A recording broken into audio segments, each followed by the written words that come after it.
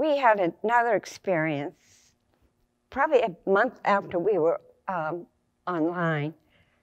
And we used to hear over the loudspeaker manual patient handling stations.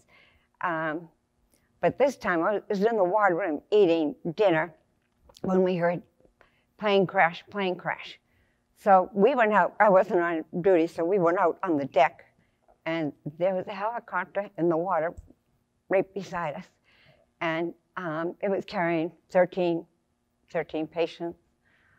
So other helicopters came. We watched the entire rescue effort. Never, never to leave my mind, never to leave my mind. I believe that we would save um, six, six patients, six boys. But what was more important, as far as I was concerned, was the following week. We, we, we traveled uh, three miles offshore between South July to um, the DMZ line.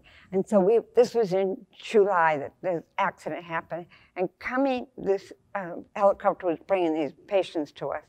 Anyways, we were coming back, and I was on night duty, and I was walking between wards, and I always walked out on the deck when I was um, walking between the wards. And I, um, what was going on when I went out was one of the boats was going out into the water, and I could see this big wall up in the water. I stayed and watched.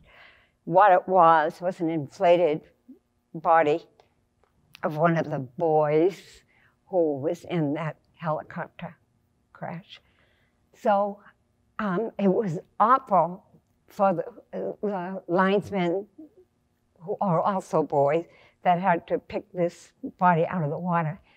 But I always looked at it as a MIA, less, less MIA, so that a family could get some peace of mind. Tet was huge. That was the 1st of February of 68. Um, we received 138 patients within a 24-hour period. Um, about 15 of them were head cases, one neurosurgeon. So you know what happened to a lot of the patients. Um, eight, eight did make it, I know, in regard to that. But I still remember them coming in, one after another after another. The helicopter pilots, like, I mean, those are, those are wonderful life-saving people. They, they were coming constantly, constantly. We were trying to keep up with it, but, you know, everybody, all the hospitals were involved that were in the area. But we couldn't take care of them all. It just couldn't happen.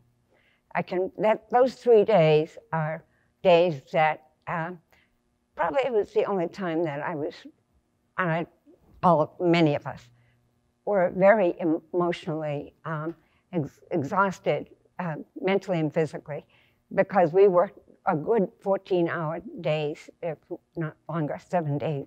It ended up being seven days a week. But it was um, quite a while before things subsided after that it was awful tough. Um, some of the, and when I told you about the patient who called my name, he'd been surrounded for two and three days by the enemy. They don't know if, they don't know if they're going to make it. I mean, it was pretty hard, pretty hard on them.